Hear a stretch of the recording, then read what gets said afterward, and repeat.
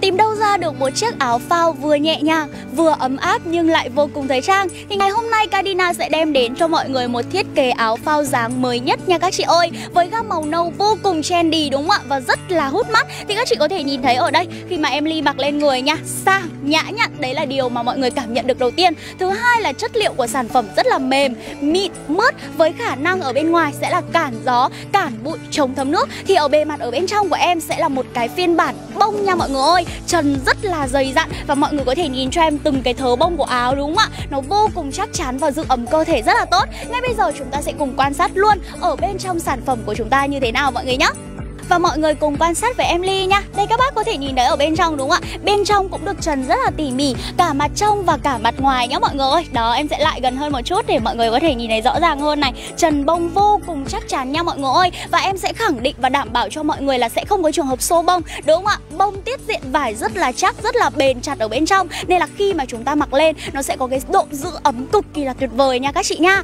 Nhanh tay comment liền vào luôn cho em đi ạ. Để sở hữu luôn siêu phẩm này. Vì nếu không nhanh tay sẽ hết hàng mọi người nhé.